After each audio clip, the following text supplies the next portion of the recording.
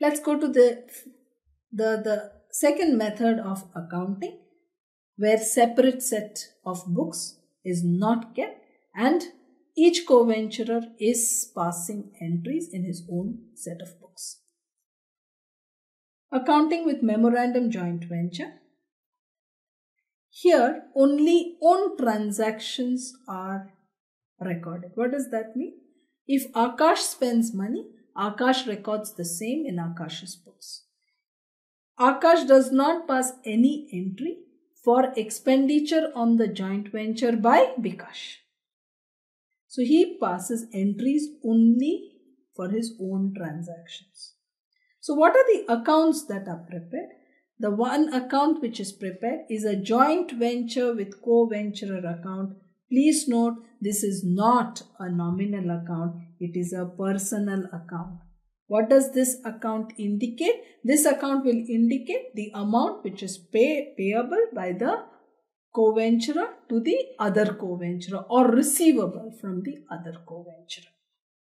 This is a personal account. It's not a joint venture account. It's joint venture with co-venturer account.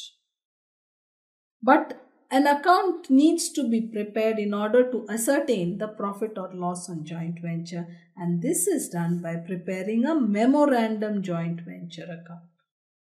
What is a memorandum joint venture account? Though it's called a memorandum joint venture account, it is not an account. It is actually only a statement. A statement which has expenses on one side and incomes on the other side. There is no double entry involved.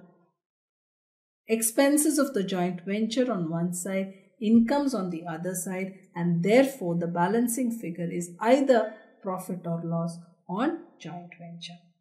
But please note, it is a memorandum joint venture. That means it does not form a part of the accounting system, double entry system. There is no double entry involved. It is a statement prepared only to find out the profit or loss on joint venture.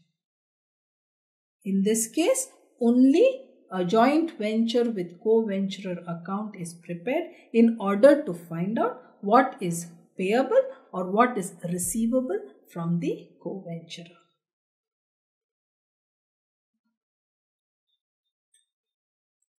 What is the accounting entries here?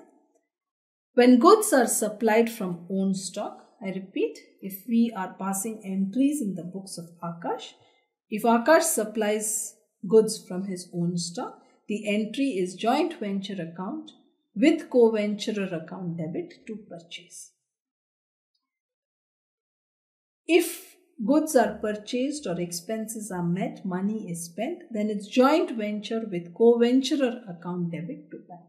So for any expenses which Akash incurs, the, the, the, the method is to debit joint venture with co-venturer account. If expenses or materials are bought by Bikash, then no entry is passed in the books of Akash. No entry is passed in the books of Akash. If goods are sold, assuming Akash gets the money, it's bank account debit to joint venture with co-venturer account. Bank account debit or debtor account if it is a credit sale.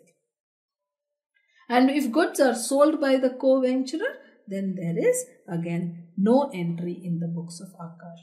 For goods which are sold by Bikash, money received by Bikash, no entry in the books of Akash. If materials or asset is withdrawn from the business, if Akash withdraws something from the materials from the business, purchase account debit. If he withdraws an asset, it will be asset account debit to joint venture with co-venturer. If materials are withdrawn by Bikash, Again, there is no entry in the books of Akash. No entry in the books of Akash for any transaction made by Bikash. For profit on joint venture, mind you, how would you know the profit on joint venture? In order to know the profit on joint venture, we need to prepare a memorandum joint venture account. Memorandum joint venture account, which is not really an account, it is a statement. The expenses on one side, incomes on the other side to find out profit or loss on joint venture. If there is a profit, then joint venture with co-venturer account debit to profit and loss with Akash's share of profit. This has only Akash's share of profit.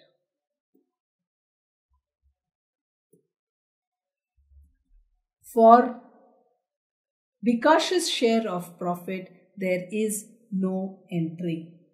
No entry for Vikash share of profit.